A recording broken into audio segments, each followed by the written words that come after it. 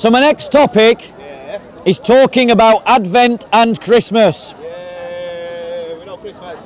We love Christmas, but how many of you love Advent? Eh, Christians, we have lost sight of the Advent season because of the influence of the secular liberal world, because of commercialism. Commercialism has turned what should be a period of fasting, almsgiving, and prayer into a season of parties, indulgence, and celebrating Christmas before it's even Christmas. Christmas begins on the night of the 24th of December. It does not begin on the 1st of December. In the 1st of December, we are in Advent.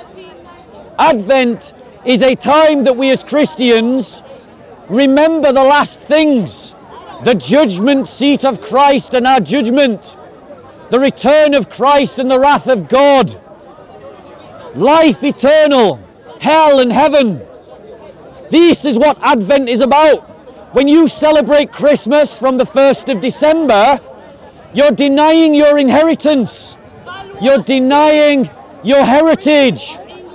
As Christians, you have been more influenced by commercialism than you are by the church's calendar. The first Sunday of Advent is our New Year's Day. We don't celebrate New Year's Day on the 1st of January. That is a pagan hangover.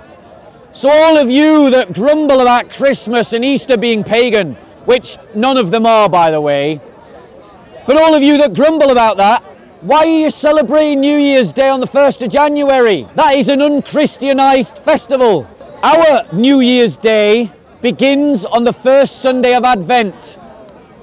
That is when we celebrate the start of the church calendar, because the church calendar is an arrow that points through time.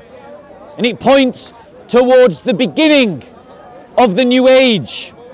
So, Christians, I want to encourage you don't go along with the world. Don't be influenced by commercialism. Celebrate Advent before you celebrate Christmas. And how should you celebrate Advent? Let me give you some suggestions. Firstly, hold a New Year's party on the first Sunday of Advent. And please invite me, because I'd love to go to an Advent party. So that's when we celebrate. That's when 2021 becomes 2022 for us on the first Sunday of Advent. Next, next, next, ladies and gentlemen, fast. Now, modern Advent has been truncated. It's a 40 day festival, including the Sundays. Fast for Advent. Become vegan for Advent. Stop eating for a certain number of hours during the day for Advent. Fast. Give alms and charity to Christian organizations and Christian causes. Give of your wealth and of your time. Volunteer, give your money. Support Christian organizations. Support Christian movements.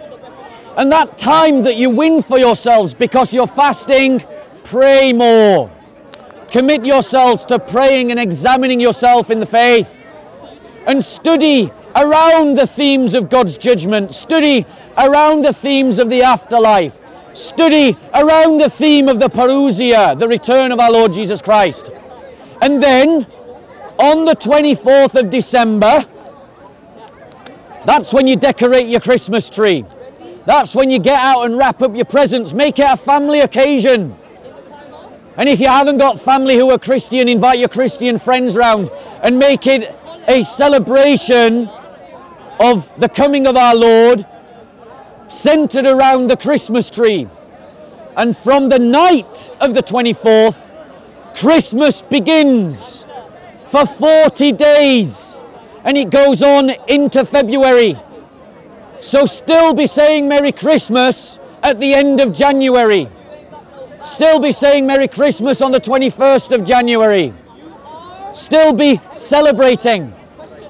As Christians, we keep talking about not being like the world. Well, here is a clear way that you cannot be like the world. We talk about not going along with the world. Well, here's a clear example of how you cannot go along with the world. Celebrate Advent before you celebrate Christmas. Any questions? Any questions going once? Any questions going twice? Sorry? So the question is, what about the tree? So this is probably a debate that would be better at Christmas time, but we're very early and I did bring it up, so it's only fair that I take a question about Christmas. Lots of people mistakenly think that Christmas trees are pagan in origin. There is zero evidence for that. Zero.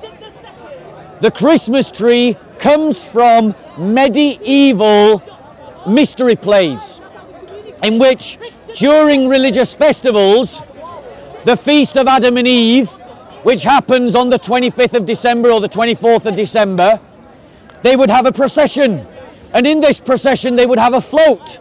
And on the float would be a tree representing the tree of life or a tree the tree of knowledge of good and evil. And this tradition this visual display was in court was then put in the public square so everyone could see it to remind them of the mystery play and the story that came from it. Martin luther a reformist was the one that brought it into the home in germany that's why it's a german tradition not a mediterranean tradition or an ethiopian tradition and so and so as there's nothing wrong with the Christmas tree. It's not pagan in origin. And it is just a happy way to celebrate the truths of our faith. Any other questions? It's to celebrate a holiday and Father Christmas for children and Christmas presents and the family. The, the Christmas tree. Brother, brother, it's all right. Come on. Brother, brother, brother, brother, brother, peace be with you. Peace be with you. Don't let him get to you. Don't let him get to you. If you react, he wins. your mum's whores and Bob. Yeah, of course. Risk getting arrested, not Yeah. worth it. It's not worth it. Call your mum a prostitute. Yeah. My mum's dead, it. mate. You know when you know when they insult you know when they insult your mother. You know what? You know when they insult your mother, just point out their prophet was a paedophile. If they insult you, whenever they insult my mother, I just talk about their prophet. Don't lose your temper. I believe you, bro. I believe you, bro. Don't let him win. Don't let him win.